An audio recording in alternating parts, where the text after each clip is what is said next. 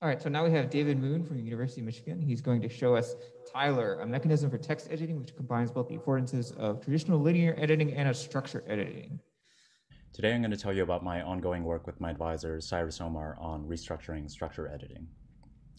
Today, we write our programs using fancy text editors. Here's how they work at a high level. The programmer edits text, which is then parsed into an abstract syntax tree, or language term as I call them here. The editor runs analyses on this language term, then propagates the results back to the text in the form of decorations like syntax highlighting or the red squiggles uh, so that we can see them. Uh, and here I have a double border around text to indicate that it's the editor state. A big advantage of this approach is the flexible linear editing affordances of text. A big disadvantage of this approach is uh, that the parsing step often fails. And if the parsing step fails, all the downstream steps are liable to fail, causing gaps in the availability and effectiveness of our language-aware tooling. Structure editors, also known as projectional editors, have long promised to improve this situation. In a structure editor, the programmer directly edits the term structure, ensuring that every edit state is a well-formed term. Uh, it may have holes for missing parts, uh, but otherwise it's well-formed, and so language-aware tooling can be consistently available.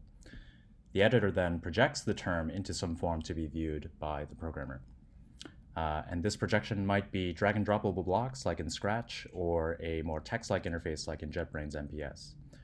Whatever the projection, structure editors have the reputation of being too slow or difficult to use, and they haven't really taken off beyond the novice level. The editing experience can be highly viscous compared to text. In other words, it can be difficult to make changes to existing code. Let me give you a brief taste of this experience in MPS. So uh, JetBrains MPS is the state of the art in expert level uh, efficient structure editing, and even professional programmers, some professional programmers use it on a daily basis. Uh, it features this text-like interface. Um, I can type left to right to construct operator sequences. Uh, and I can even enter parentheses one at a time.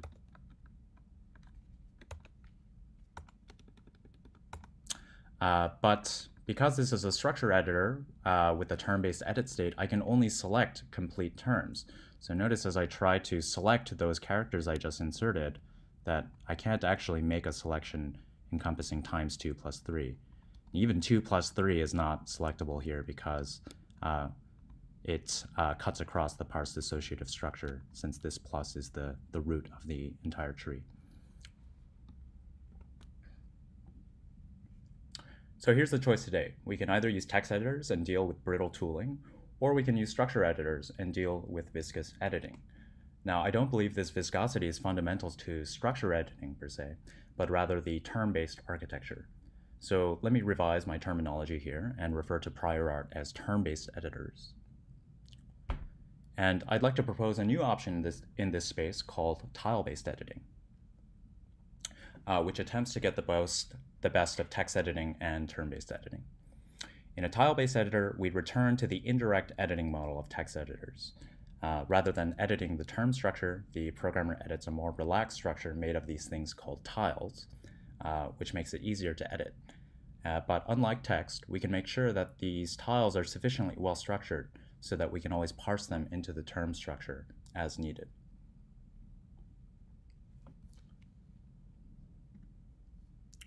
Here's a tiny tile-based editor I built called tylr.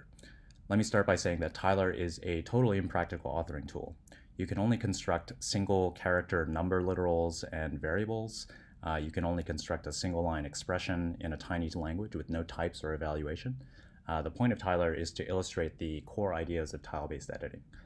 I'll soon say more about all the shapes that you're seeing here. Uh, for now, I want to emphasize that uniquely among structure editors, tylr lets you make arbitrary range selections up to token boundaries.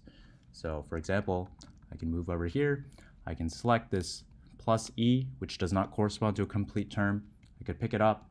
I can bring it over. I can put it down. And all the while, tylr will make sure that we uh, can always return to a well-formed term structure. So let's take a look at how tylr makes this possible. So we've observed that there is a tension between supporting flexible editing and maintaining term structure.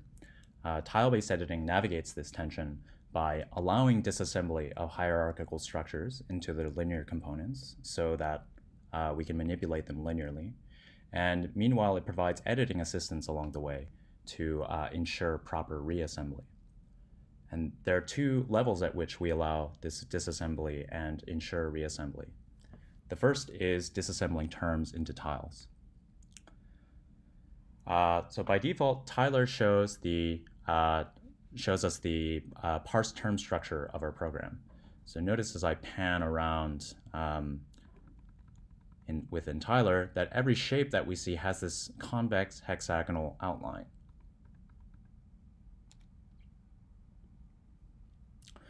I can turn on tile view in tylr to show that these terms disassemble into sequences of tiles. So here, this, uh, this term a comma r is now going to become a sequence of these three tiles a, comma, and r. Um, and we'll notice that if we go to a slightly more complex example, uh, we see that this previously tree-structured form is now flattened into this sequence. Uh, and furthermore, you'll notice that the uh, every tile that you observe here has um, distinct shapes from the, the, the, strictly convex terms. They can be uh, con uh, concave as well. Um, and so each tile is determined by uh, its pair of left and right tips, each of which may be convex or concave.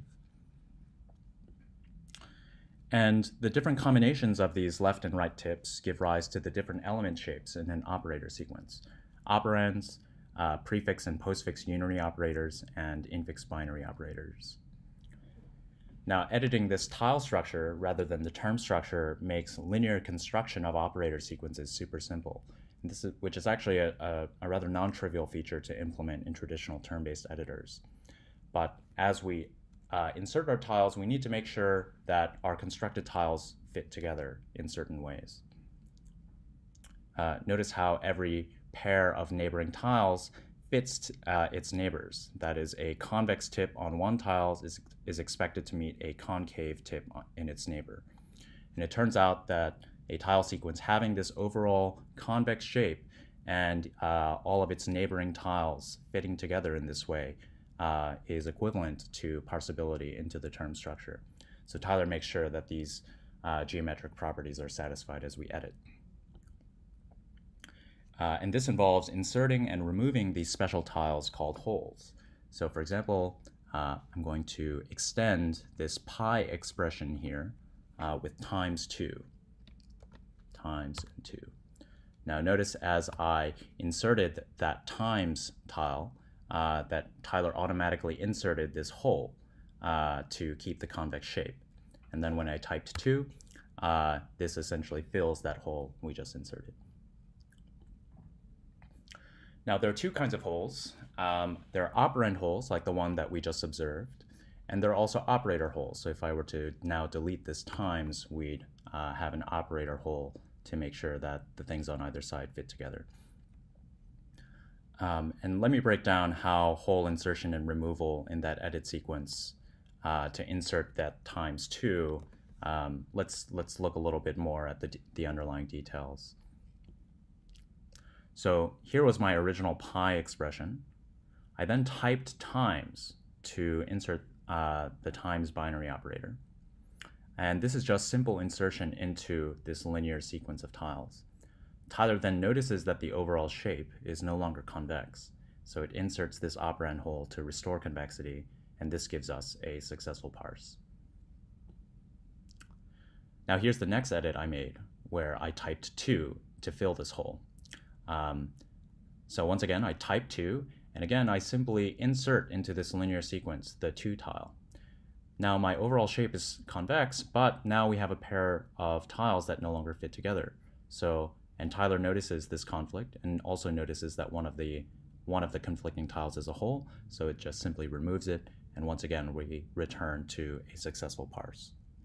Notice how this combination of linear insertion and hole removal recreates the usual hole filling experience in traditional term-based editors.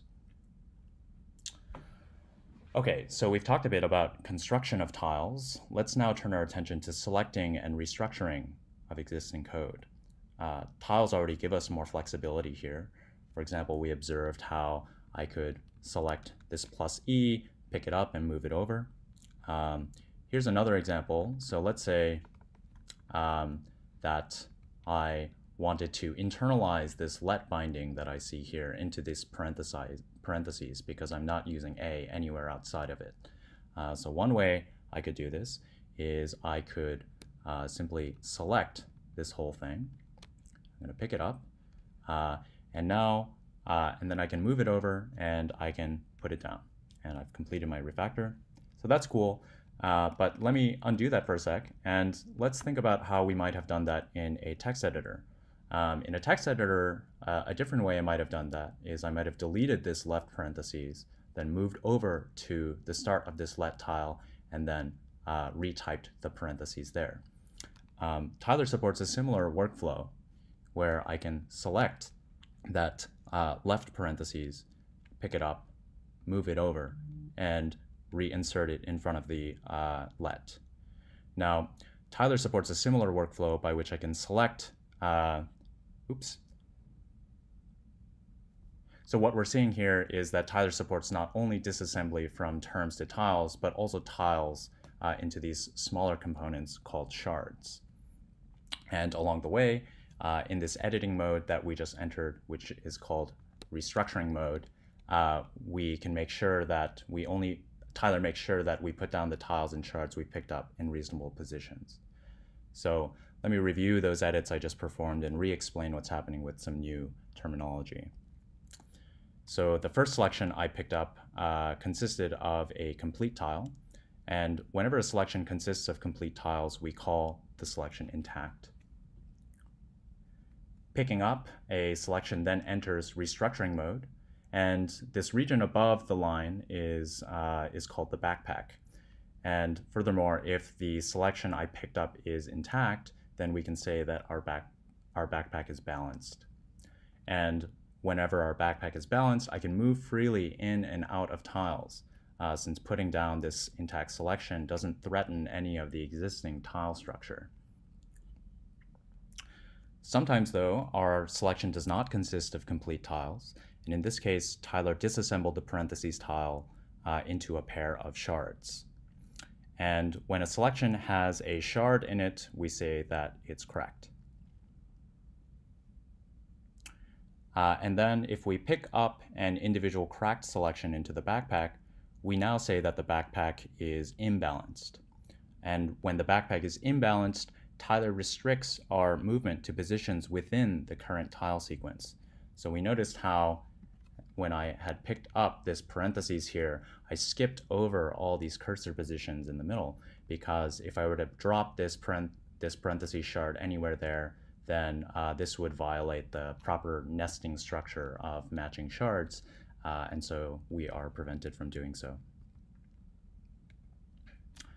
Now, notice how also notice how when I uh, picked up this uh, left parentheses, the matching right parentheses is also highlighted.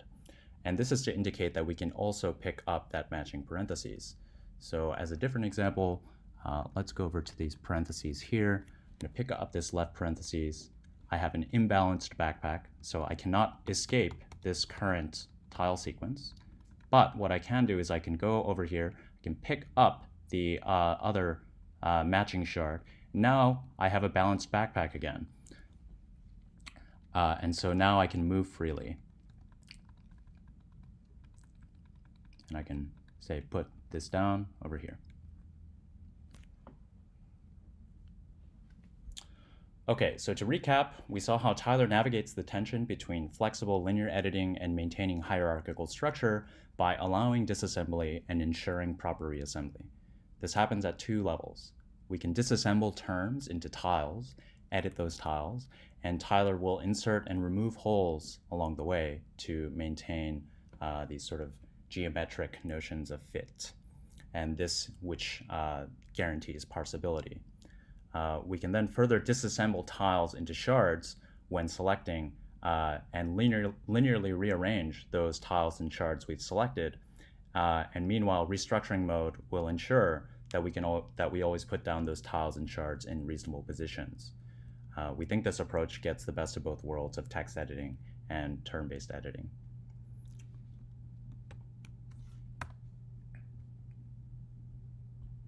Uh, finally, I'd like to touch on some of our ongoing work to evaluate and scale tile-based editing. We ran a pilot study of an early prototype of restructuring mode in July 2019, which suggested users easily took to the workflow but were confused by its ad hoc limitations. And now with a more general and principled design, we'd like to run a controlled user study uh, comparing the efficiency and user sentiment between tile-based and text editor users. Uh, as part of that effort, we're scaling up tile-based editing to Hazel, a live functional programming environment with the usual multi-line editor. And this involves some additional design and engineering challenges such as integrating with a pretty printer, uh, integrating with Hazel's type system, and more. Uh, and finally, tylr has a tiny bespoke grammar, but we think the idea is immediately generalized to the class of visibly pushdown grammars. So it'd be nice if we could automatically generate tile-based editors from a given visibly pushdown grammar. Uh, and further down the line, we're interested in extending these ideas to support uh, more general context-free grammars. So that was my talk on restructuring structure editing. You can play with tylr today at tylr.fun. Uh, and you can read our accompanying web essay on tile-based editing at tylr.fun slash essay, which provides some extra details I didn't have time to cover here. Uh, I will say that uh, it is currently a work in progress and uses some outdated terminology regarding the backpacks, but otherwise the, uh, the ideas remain the same. Thanks for listening. Thanks.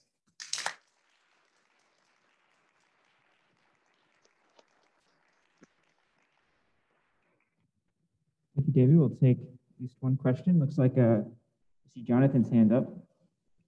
So this is great. This is uh, this is the freshest thing I've seen in ages in structure editing. Um, really cool. Um, I wanted to ask a loaded question though about user studies. You did mention on your final slide that you plan to do some user studies, controlled user studies. How do you do a user study on something so different? Mm. Yeah, so I mean, well, uh, so I think there, there are a couple aspects of that. One is you want, like we want, we're interested in looking at just general editing efficiency. Um, so I think, for example, the restructuring, as, the, the aspects of restructuring mode where you can skip over entire tiles, I, I could see that uh, leading to improvements in efficient editing efficiency. The other aspect is just general users gathering user sentiment. Um, so um, you can uh, give similar tasks both within text and uh, structure editing contexts uh, and gather post-task uh, responses in terms of how they feel about the general accuracy and speed and predictability of these editing operations. Uh, we've seen some controlled user studies of MPS that uh, indicate that experts, novices, they can have trouble with basic operations like deletion and selection. And so we'd be interested in seeing how we can improve, uh, improve upon that state of affairs. All right, thank, let's uh, thank David once again.